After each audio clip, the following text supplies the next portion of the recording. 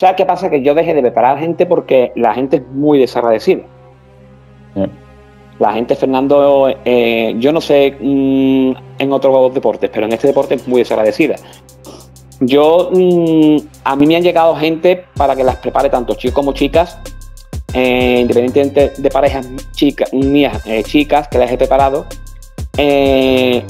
gente que, pero escúchame, que había, que era un reto, no, o sea, que era que cualquier preparador dice, yo no te cojo, yo no te preparo, porque es que esto es sacar petróleo donde no hay. Bueno, pues gente que no había competido nunca, que lo que hacían era entrenar, los he preparado, las he preparado y cuando ya estaban para salir tal cual que han salido tal, te han dejado tirar por otro, por otro preparador de renombre, como puede ser un Raúl Carrasco, como puede ser, ¿qué te digo yo?, en un Miguel Cerezo, pues la gente no es agradecida. Pero escúchame, ¿tú cobrabas mensualidades? A ver, eh, agentes mm, sí, otros no, la mayoría no. Y eso es un, eso es un, es un error. Porque, sí, porque parece que no, pero cuando le cobra a la gente se lo toma en serio, macho. Es así, no, no, es así, es así. O sea, eso es. Mm, yo empecé, eh, no le cobraba a nadie, eh, ya llegó el límite en que digo, no, voy a cobrar, porque es que es mi trabajo, ¿vale? ¿Lo llevaba sin cobrar a nadie? Bueno, yo años. Años, yo empecé. ¿Qué sé? ¿10, 12 personas? Claro. Sí, sí, sí. ¿Grande? Sí, sí, sí, sí. Sí, sí. Hombre, no, le cobraba a nadie, no le cobraba a nadie. Y, de hecho, me, venían gente para que los preparara porque veían los resultados en otras, ¿vale? ¿Y, no cobra? Y no les cobraba. Entonces, ¿qué pasaba? Que, que no te valoraban el trabajo. Efectivamente. No lo valoran. Y ya pues decidí, digo, sí, pues tú quieres que te prepare, esto es todos los meses, esto es si quieres dieta y entreno online es X, si quieres entrenamiento presencial más dieta o preparación es X, si quieres preparación para competir es X más Y, en fin, si quieres también asesoramiento farmacológico es esto más esto más esto, y es lo que hay, es lo que hay. Pero es curioso que cuando le dices a la gente que le vas a cobrar, ya no le están Ah, es que si va a cobrar me voy a que me pare eh, no sé quién. Ah. Mm, mm. O sea, ahora ya no soy bueno. Ahora ya no soy bueno. Ah, pues vete. ¿Sabes? Y ya tomé, tomé la determinación de decir, pues mira, mm, me lo tomo para mí, no me paro a nadie, no me complico la vida. Y lo que llevo son eh, personas eh, de calle, ¿sabes, Fernando? Que, no te, dan problemas, les prepara sus dietas. Eh, naturales, entiendo, ¿no? no naturales, por ejemplo, una persona, una chica o un chico normal de gimnasio que no son competidores, que lo que quieren es mejorar su físico. Vale, vale. ¿Vale? Eh, quieren mejorar su físico a nivel, a nivel el que sea, a nivel de, mm, mm, psicológicamente, a nivel de que tienen un, trauma o, no se ven bien, por las circunstancias que sea, ¿vale? Pues eso es lo que yo me hago, lo que yo me dedico. O sea, aparte de mi trabajo, llevo 23 años haciendo eso. Pero estás cobrando ¿no? claro, claro. A ese tipo de personas sí les cobro porque aparte de que no dan, mm, te dan el problema de un competidor o una competidora que está continuamente eh, esto, eh, esto no puedo, eh, estoy muerto de hambre, esto no sé qué. pero 24-7, Fernando, de lunes a domingo, ¿sabes? Y la verdad es que no. Y, pues yo se lo dije a Vole, y yo no preparo a nadie más por esto, ¿sabes? Si acaso tú te sacas un extra con tu, con tu gente. Podría haber vivido de ello. En ese, en ese curso de tiempo fue cuando David y yo, y yo abrimos el gimnasio, que se llamaba Radical, ¿vale? Y David, pues dejó el gimnasio, ya siguió su socio y tal, y yo monté ya el mío, ¿vale? Mm. Entonces, eh, pues eso fue en el 2000, en el 2008, preparándome, hice un campeonato de Sevilla, hice un Andalucía, eh, yo siempre he competido. ¿El qué? IFBB. Sí, sí, IFBB. O sea, la élite. Eh, yo he competido en IFBB y en AF, ¿vale? Eh, sí. Hice. Yo siempre he competido en las dos temporadas, ¿vale? No como ahora que la gente, no, yo salgo, hago un campeonato, una temporada. No, no. Yo siempre he competido.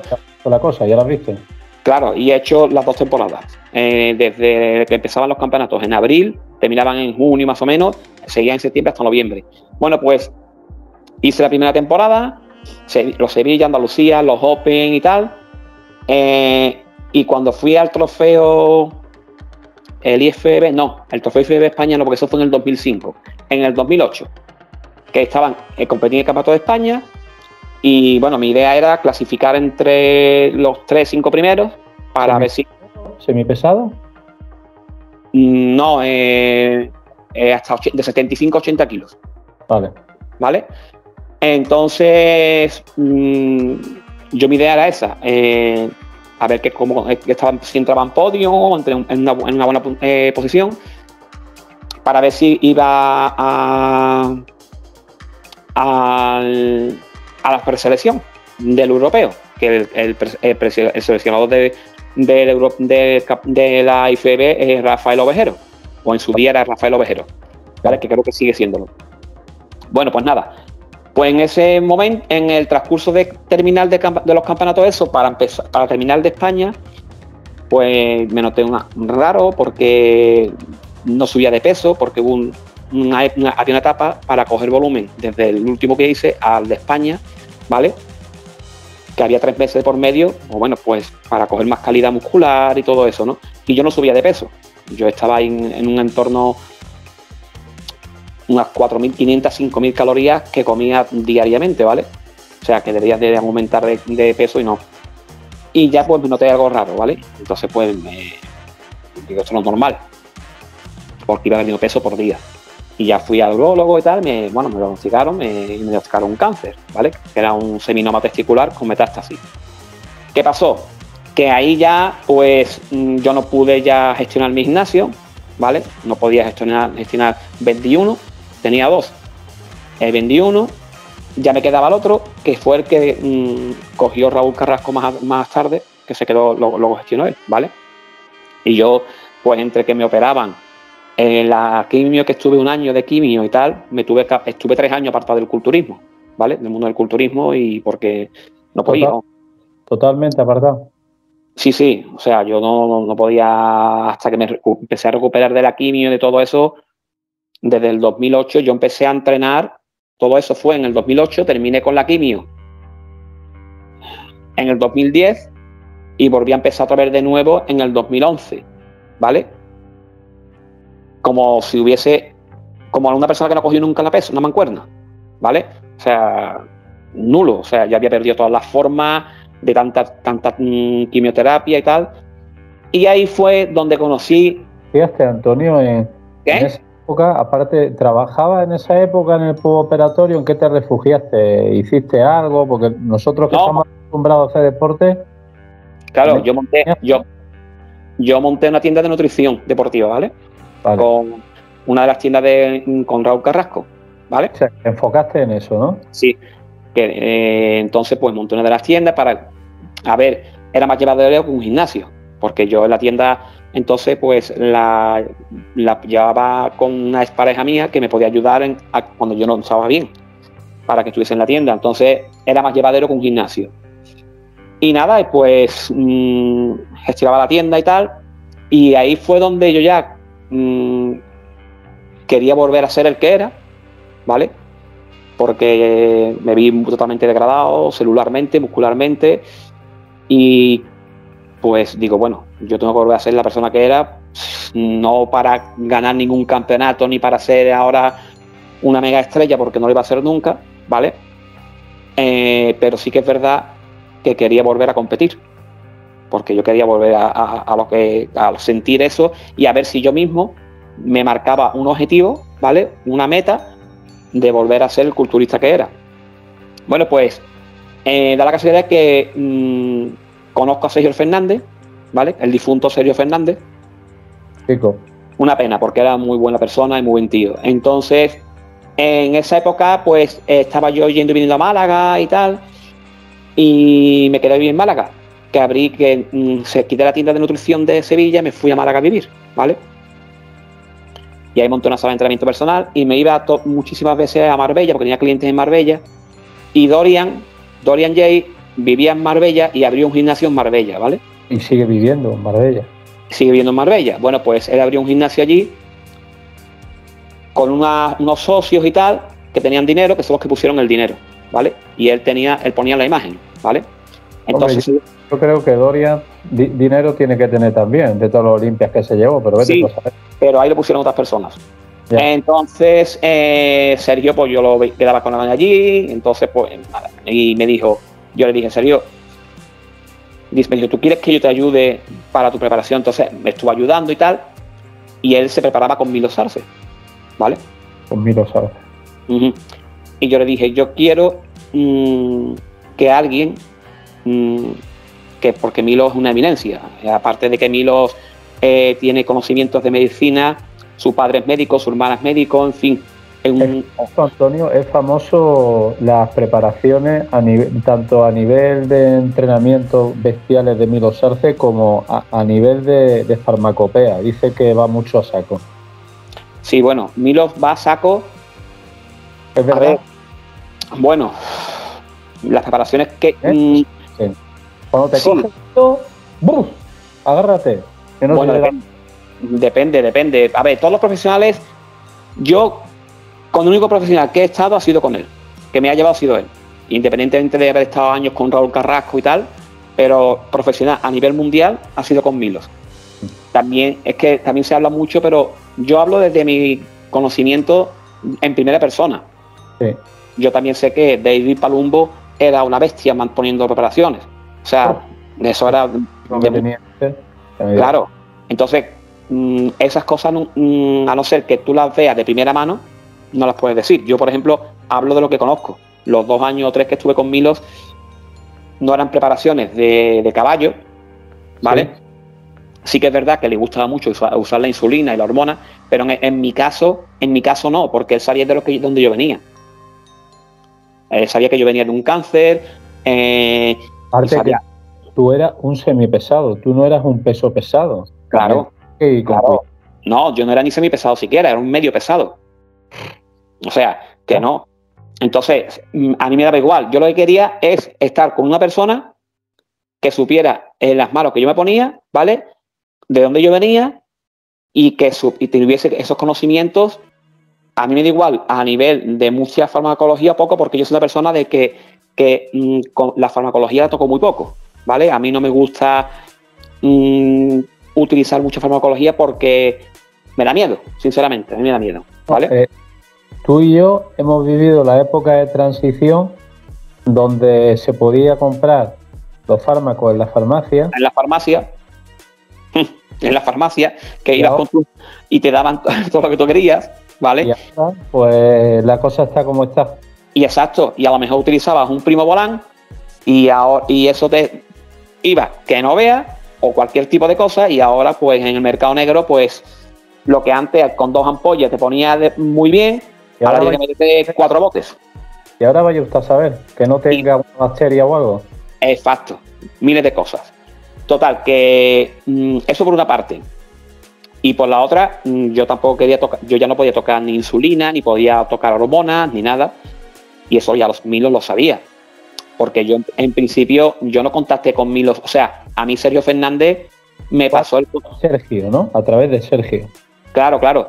Eh, a mí Sergio Fernández me pasó el contacto de la secretaria de Emilio Sarce, que en su día era Carla Arrieta. ¿Vale? Bueno, pues yo, entonces Milos vivía en aquella época en Finlandia, en Helsinki, ¿vale? Que yo hablaba por Skype eh, con él cuando ya contacté, cuando ya me cuando ya lo contraté, porque antes de que yo, o sea, antes de yo hablar con Milos, yo tuve que hablar con su secretaria y depositar una fianza de 500 dólares, de 500 euros. ¿Qué, me estás diciendo? Sí, sí, sí, sí. Eso funciona así. A partir de ahí, eh, mandarle fotos. Sin conocerte. Sin conocerla de, nada, de conocer nada, yo tenía que depositar 500 euros para empezar, para que ella le mandara información, ¿vale? Mía, fotos y tal, para ver si él optaba a prepararme o no. Yo le contesto me imagino, Antonio, que le preguntarías a Sergio, oye, ¿esto es fiable? A ver si luego no me va a coger. Claro, claro, claro. Sergio me dijo que, el funcionamiento era ese, ¿vale? Entonces, eh, y además me lo dijo, dice, a ver, Milos no coge a cualquiera, ¿vale? Indudablemente no es que tú seas un caballo de carrera, tú eres un amateur y Milo prepara caballo de carrera, ¿vale? igual con tu historia y como tú eres y, todo eso, pues acepta prepararte. También de mano del Sergio Fernández, pues yo creo que se juntó todo y aceptó prepararme. Pero claro, antes de eso yo deposité dinero y ya las fotos. Entonces ya me, me, dijo Carla, mira, ya te voy a pasar con Milo, porque ya había depositado yo 2.000 euros, ¿vale? Y me vas a pasar las fotos de competición, de fuera de competición, de tu estado actual. Y mi estado actual, imagínate cómo podía ser. Eh, pues hecho una mierda. O sea, yo estaba, yo estaba degradado muscularmente. Entonces, claro, Milo, bueno, el hombre, el tío no es tonto, ¿no? Vio, mis fotos de competición, mi estado. Eh, ¿Cómo, te gusta a ti este deporte, eh? Para después de lo que te pasó. Claro, de hecho, él me lo dijo, porque él cuando él me hablaba siempre en inglés. Me hablaba siempre en inglés de que está traduciendo y me lo dijo. Dice, hombre, hay que tener muchísimo valor para después, porque él siempre te hablaba de usted. Mira que después yo lo conocí, yo ya tuve mucha relación en persona cuando él vino aquí a vivir a España, a trabajar con Vito Bes, ¿vale? Eh, para cuando creó su firma, su marca con Vito Bes, ¿vale? Que era Milo Sarce Signature. ¿Sí? Y él, vivía aquí en Santa Pola, entonces yo tenía ya mucha relación con él, ¿vale? Cuando, personalmente. Desconocía eso. Yo creo que esa época tuvo que ser cuando empezó a conocer a, a, todos los grandes culturistas aquí en España, ¿no? Que casi todo tenía que ser en España, ¿no? Me imagino. Sí, sí, porque Raúl Carrasco ni lo conocía. Yo ¿Eh? creo que Jimmy Atienza lo conoció también, tuvo que ser esa época, ¿no? Sí, fue esa época, porque Raúl Carrasco no lo conocía en persona. Raúl Carrasco lo conoció porque Raúl ya en esa época también estaba en Vito y coincidieron y ya pues a raíz de que yo estaba ya preparándome con Milos, pues ya lo conoció más, ¿vale? Entonces, eh, mmm, Jimmy también eh, eh, lo conocí personalmente y tal. Bueno, pues mm, a lo que estaba comentando. Entonces él me dijo, dijo, tiene usted muchísimo valor para después de lo que ha pasado, cualquier persona no vuelva a coger más una mancuerna. ¿Tú le preguntaste al médico, ¿esto me ha salido por consumir esteroides? Vale, muy buena pregunta, porque yo se la hice al médico, ¿vale? Yo a mis oncólogos se lo dije. Y yo estaba muy preocupado por eso. Y digo, me cago en la puta que. Mm, de hecho, aquí en Sevilla, te lo digo en Sevilla, no a nivel nacional, pero en Sevilla, las malas lenguas me cuestionaron y criticaron y me dijeron que yo había pasado por eso por la farmacología. Eso va a ocurrir siempre, claro. Claro. Cuando mi madre, que nos ha metido un, un DECA en su vida, ¿vale? Al año de tener yo el cáncer lo tuvo ella. Pero es que una de mis hermanas, hace un año, ha tenido cáncer de pecho también. Y, tampoco, y, tampoco, se ha metido a farmacología. Soy una familia propensa. Efectivamente, ¿vale? Entonces, eh, aquí poco más que menos, pues la gente te critica mm, sin, ya y hasta sin conocerte, porque hasta me dieron hasta por muerto. Pero es que después te voy a decir una cosa, Fernando. Cuando te pasan este tipo de cosas, los que están en su día, que son supuestamente amigos tuyos, esto, te ves solo. Porque ninguno de esa gente que cuando yo tenía el gimnasio, cuando yo tenía los gimnasios y tal y cual, y me iba muy bien, estaban siempre allí. Cuando te ves que te quedas sin nada porque te ha pasado lo que te ha pasado, desaparecen. Y como ese hay muchos. ¿vale? Entonces, pues ya te digo que eh, es así. Y al, hilo de lo que estamos hablando de Milos, pues sí, la farmacología y tal y cual, pero que el oncólogo, el oncólogo... exacto, dime, dime, el oncólogo. Vale. Yo le dije, bueno, a, mi, médico, ¿no? Le dije que si todo eso había sido motivado por mi deporte, a lo que yo me dedicaba y tal. Y me dijo rotundamente que no. Que no me dijo, mira, sí que es verdad que se ha, utilizado hormonas del crecimiento, insulina y tal, eh, ha acelerado el proceso de crecimiento de las células cancerígenas. Pero tú esto ya estabas predestinado para ello. ¿Vale? O sea, esto es una lotería y tú has jugado y te ha tocado. Yo realmente pues estaba tocado de la quimio. La quimio te destroza, ¿vale? Entonces yo decía que los niveles de FSH y ADH los tenía fatal, la hormona leutenizante y todo eso. Entonces, mm, y me decía, bueno, pero tú como, o sea, me, encantaba escuchar porque decía, bueno, es que este tío no es, culturista, pero sabe, no se da, no va a darse porrazos con una mancuerna en la cabeza. Como yo lo decía, digo, vamos, que yo no me doy porrazos con una mancuerna en la cabeza. Y he tenido muchísimas charlas y tal. Entonces me, él me dijo eso rotundamente que no, que, esto es una lotería, que todo el mundo jugamos un número, pero a mí me tocó. Y ya está. Y es que es así. Y yo tenía mi, cosa en la cabeza de que había sido por la farmacología. Pero realmente no. Sí que la, él aceleró, pero que yo ya estaba predestinado para ello. Y luego dar el paso de irte con Milos otra vez y volver a usar, madre mía. Claro, eso también, pero Milo ya, sabiendo mi, mi cuadro clínico, él me puso ya una preparación en el cual tocaba las cosas puntuales, dosis bajitas, en fin.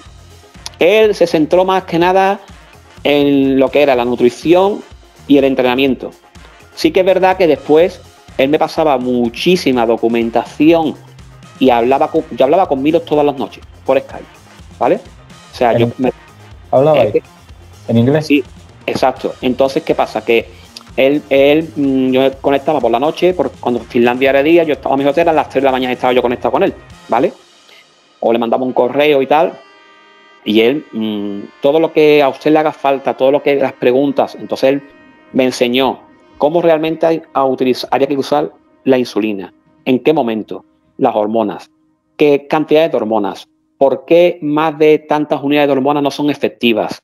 Cuando la gente se mete en 10, 12 unidades, una locura. Eh, más de esto no es, no es necesario. Eh, o sea, infinidad de cosas, aunque yo no las pusiera, no las utilizara en mi, en mi cuerpo, pero sí que es verdad, las nociones y los conocimientos me los traspasó, me los transmitió.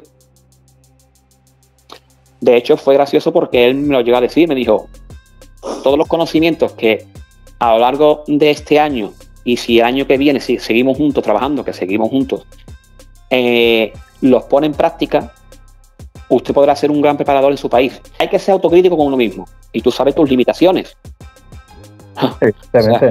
yo sé genéticamente hasta dónde puedo llegar. Y más después de lo que pasé, que muscularmente, eh, o sea, el fallo mío de siempre han sido las piernas, ¿vale? Mis piernas, al salir a competir, salen.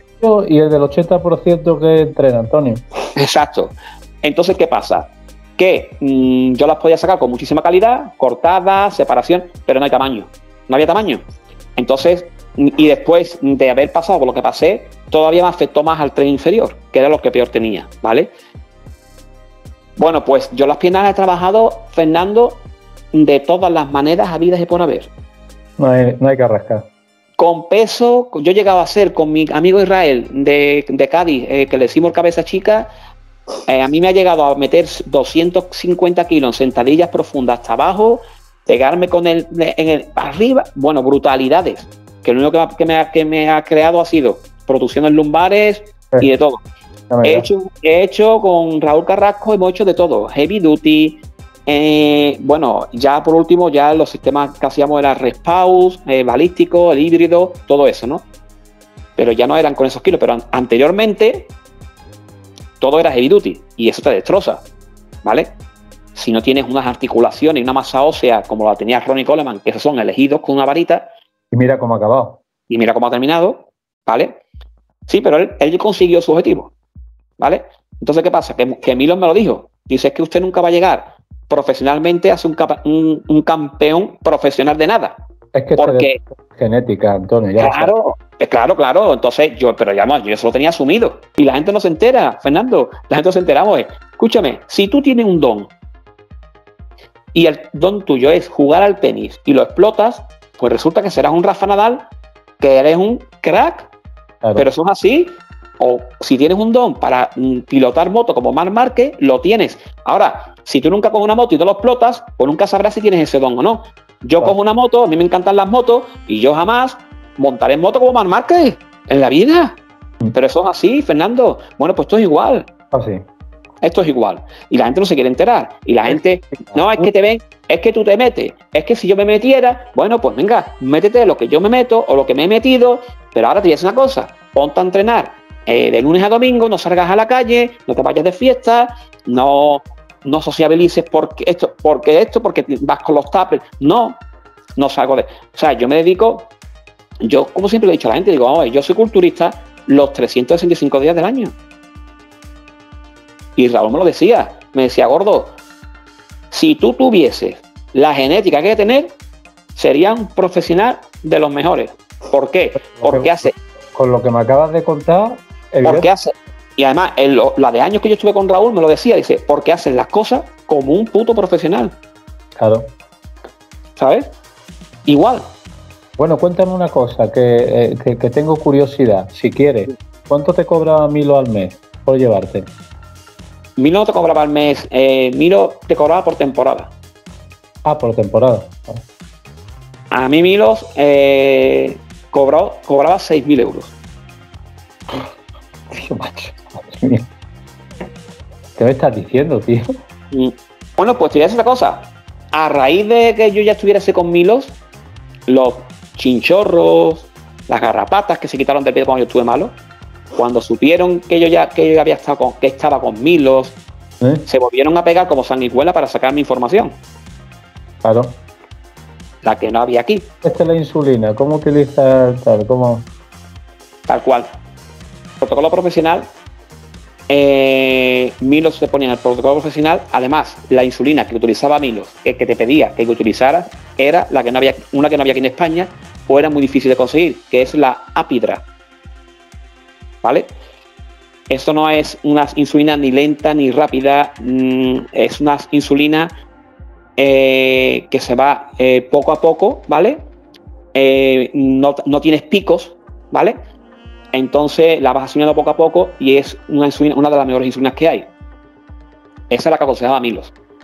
Y él, tenías que ponerte antes de entrenar, durante el entreno ¿Eh? Y después. ¿Tres veces al día? Sí. Y además, la insulina con la hormona. Y comer mucho, ¿no? Bueno, sí, pero la insulina con la hormona no se pueden mezclar, no son sinérgicas. No me la indicó para que yo me la pusiera, pero sí que verdad me dijo cómo tenía que hacerlo. Sí. Milo tenía varias facetas, ¿vale? O bien te la ponías en ayunas, ¿vale? O antes de entrenar, en, con diferentes horas a la, insulina si la usabas, y por la noche no la sabía poner, porque por la noche ya eh, tu propia insulina está generando tu cuerpo por otro está generando hormona de crecimiento, ¿vale? Entonces, él decía que, bueno, que el meter insulina en la hormona por la noche contrarrestaba un poco a la tuya que tú, eh, tu glándula pituitaria segregaba, ¿vale? Entonces él siempre la ponía eh, o en ayunas o antes de entrenar, siempre y cuando no coincidiera con la, con la insulina, ¿vale? Pero es que no ponía más de 6 unidades. Es que 6 unidades ya es bastante. Que no ponía más, es que más de 6 unidades Milo nunca la aconsejaba porque es que no, que no. Chavales, están muy equivocados, pero están muy equivocados porque mm, las redes sociales hay que saber eh, interpretarlas y utilizarlas mm, no de manera mm, viva, eh, viva la pepa, ¿vale? ¿Qué haces descalzo, tío? ¿Qué haces descalzo entrenando? porque han visto a cuatro profesionales. veo mucha gente que se Han visto a Chris Burr entrando descalzo, que no se dan cuenta de que eso lo mejor que eso lo hacen para, para, para, marketing, para vídeo, para. Eh, es que es igual que si yo te cojo una mancuerna para un vídeo, el próximo día cuando hagamos el vídeo, una mancuerna de 50 kilos para hacer bíceps. Mm. Mira, este hace, este hace bíceps con 50 kilos. No, pero es que es absurdo, pero es que, pero es que yo no te, yo no te, yo no te voy a grabar el vídeo con eso, yo te voy a grabar el vídeo real con el peso que muevo. ¿Cuál? Eh, para hacer este, este sistema de entrenamiento. Porque si, eh, por ejemplo, si te vas a Hanny Rambo, el sistema LFC7 de, de Rambo y ves a, a, Jeremy Buendía, los pesos que maneja con ese sistema no es un peso muy elevado, porque es que no podrías terminarlo, ¿vale?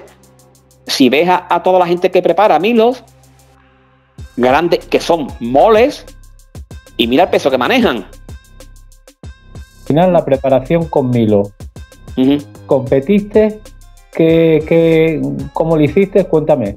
Al final, al final eh, me preparé con él, que salgo con un amigo mío que mm, en, en, puso un comentario muy bonito que y ponía, este tío tiene dos cojones. porque por esto, por esto y por esto, y aquí está. Y esa foto es del Campeonato de España del 2012, ¿vale? Que estuviste preparándote Milo. Exacto.